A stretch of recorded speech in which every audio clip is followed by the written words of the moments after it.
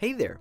Welcome to Life Noggin. Just the other day, I was having an intense debate with Triangle Bob on the speed of light. I was so ready to drop some knowledge on him, but Triangle Bob did what he does best and ran away because he knows he was wrong. He didn't go faster than the speed of light, but is that actually possible? What would even happen?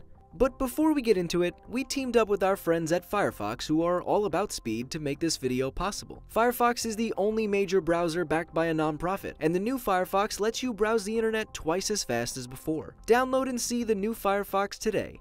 Fast for good. Now, to start our exploration, just what is light exactly? Well, it's what's often referred to as electromagnetic radiation in a certain range of wavelengths, typically based off of what we can see with our eyes, but can include other radiation that is out of the range of what we can see. It's made up of particles called photons and travels at a speed of about 300,000 kilometers per second in a vacuum. To give you an idea of just how fast that is, if someone was moving at the speed of light, they could circumnavigate the equator about 7.5 times in just about one second.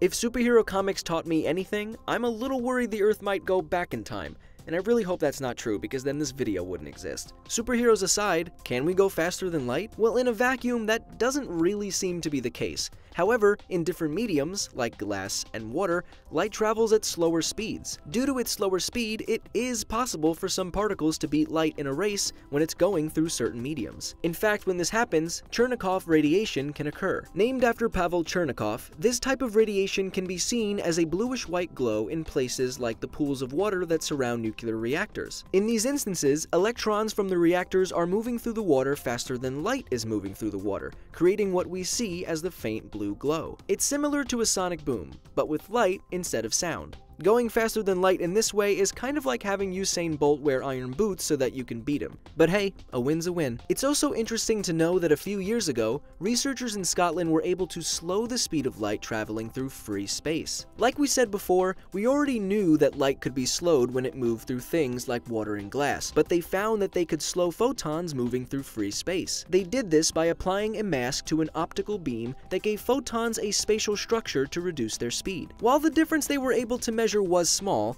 Hopefully this could lead to some pretty awesome discoveries one day, and help us better understand light. But just for fun, if we could find a way to travel at the speed of light, what are some things that might happen? Well, there would probably be some complications like running out of fuel rather quickly, or having a hard time avoiding space debris when going at that high of a speed. Also, due to time dilation, if you went on a mission in space going at the speed of light, when you got back to Earth, your loved ones relative to you would have aged more. If you did it for long enough, they could even be dead.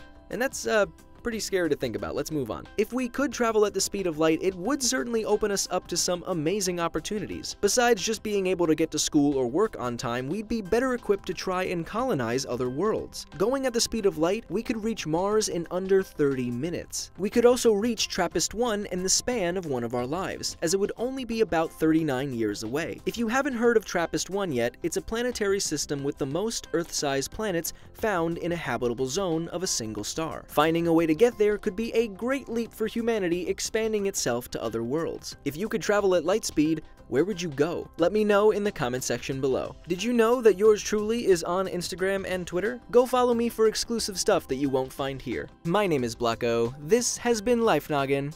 Don't forget to keep on thinking.